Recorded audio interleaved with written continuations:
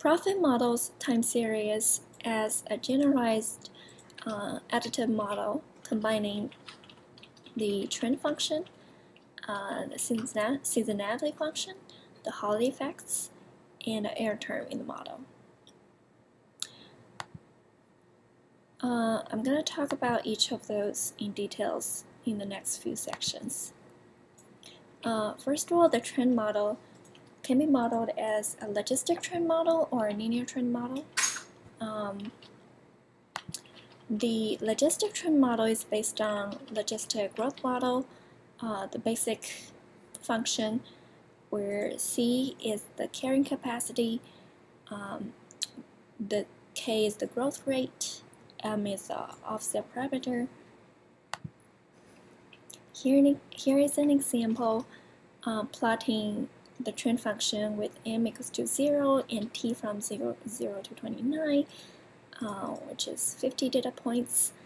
Um, as we can see here, the carrying capacity and the growth rate may change over time uh, and the resulting uh, logistic growth model will look very differently. Um, Prophet took into account those changes um, by first change the carrying capacity uh, from C to CT, um, assume that the, the carrying capacity is a function of time. And secondly, assumes that the growth rate can change over time as well, um, with, uh, with delta J change in growth rate at time Sj, the growth rate becomes k plus the sum of all rate changes up to that point. Uh, another way to write this function is to vectorize the change delta as a vector and create another vector at uh, to indicate when the change happens. Then the growth rate at time t can be written as k plus at transpose times delta. The um, combining those two different changes, uh, our final logistic trend model looks like this. Again, CT is the carrying capacity at time t, uh, K is the growth rate, AT transpose. Delta is the change in growth rate at time t. Um, m is the offset parameter. Uh, we have an extra parameter here, gamma, is calculated based on the other parameters to adjust the offset parameter to connect the endpoints of segments so that the function can be smooth. Uh, similarly, the linear trend model um, have a, uh, this is the slope basically the growth rate and the change in the slope of this linear function uh, at transpose delta, uh, which is the change in growth rate or slope at time t. m is the offset parameter or intercept of the model. Uh, again, gamma is to just uh, adjust, adjust the offset parameter to connect the segments.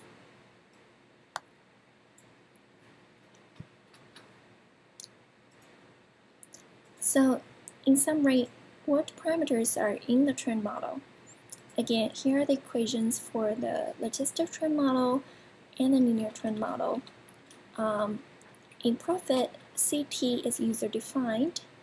Um, the, the, uh, the offset parameter m given a normal distribution of mean 0 and uh, variance 5. This is the default in the model.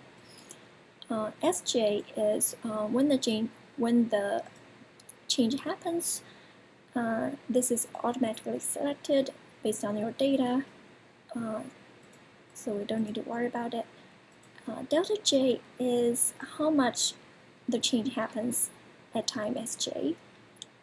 It follows the Laplace um, distribution of um, the location parameter is 0 and the scale parameter is tau.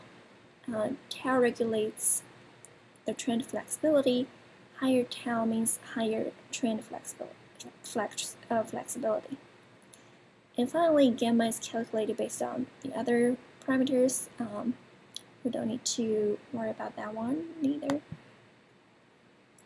Uh, the second component of the time series model is the seasonality, ST. It is modeled based on the Fourier series, which is a combination of weighted cosines and sines.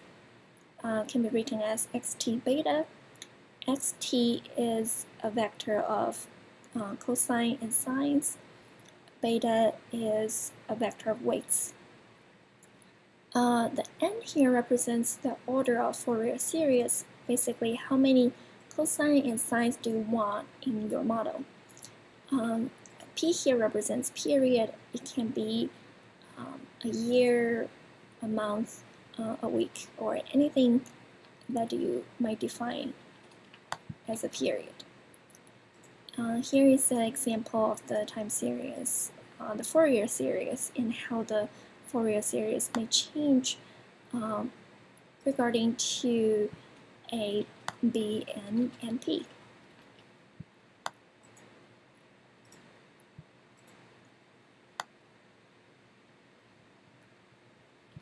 Here we assumed that uh, all the weights for A's are all the same, B are the same, um, for simplicity, uh, but in reality, all the weights are can be very different. Uh, so what are the parameters in the seasonality model? For yearly seasonality, the default setting for uh, the order of the Fourier series is, is 10. Uh, P, the period equals to um, 365.25. Uh, for weekly seasonality, uh, n equals to 3 and p equals to 7. Um, the, the, the vector of the weights beta follows a normal distribution, uh, mean 0, and standard deviation sigma, uh, where sigma regulates the strength of, of the seasonality. Uh, the final component uh, the third component of the model is the holiday effect, HT. Um, it models the linear effect of the holidays, uh, which is a vector of a dummy variable, uh, one indicating holiday and zero non-holiday. Um, K is just the, uh, the effect of the holiday, uh, which follows normal distribution of mean zero and variance um, 0.5. This is the default. So combining all three models together, we get the final model for our time series analysis. Um, follow um, normal distribution again. Uh, then based on the priors of the parameters in our data, we can find the maximum or posterior estimates for our parameters. So that's basically how the math works. Okay, so in Prophet, um, there are several parameters we can tune in the model. Um, first of all, in the trend model, the default setting is to use a linear growth trend, um, but we can't change it to logistic trend if you think that fits your question better or your data better. Um, also, the change point prior scale on tau can be changed. Um, we, uh, we have learned before that the, the change rate delta j at time sj follows a Laplace distribution with the uh, scale parameter tau. The default is 0.05, um, but we can change this value to, to higher values. Uh, higher value means more oh, sorry, should be just one more, more flexible trend. Um, and then thirdly, we have the change point range. The default value is 0.8 in Prophet, um, which means the change points um, can only apply to 80% of the data to better project forward and avoid overfitting at the end. Um, but we can change this value to 0.9 if you want to apply change points to more data, or 0.7 if you want to apply it to less, less data. Um, but 0.8 is a good default value. Um, for seasonality function, um, first first of all we can tune the seasonality prior scale. Um, we learned that beta, uh, which is the vector of the weights um, of the Fourier Fourier distribute uh, Fourier series, the, the alphas and betas, um, the weights for the uh, cosines and sines follow a normal distribution. Uh, the default of the sigma is 10. Um, in the season, seasonality mode, the default is additive, uh, which means the model combines the, uh, the seasonality uh, with the trend function, add them up together. Um, but we can also define it as multiplicative if you think your seasonality function uh, grows with the trend. Um, so instead of we use gt plus st, we can use gt times st here. The yearly seasonality, uh, the default is false. The data doesn't fit yearly seasonality. Um, but if you set the yearly seasonality equal, equals to true, the default order of the Fourier series is 10, as we said before. Um, higher value corresponds to higher frequent changes. Uh, we can change this value if we think uh, we should fit more cosine and sines in your data. And lastly, weekly seasonality. Um, the default in the model is true. Um, the order of the Fourier series is 3. Um, higher values corresponds to higher frequent changes.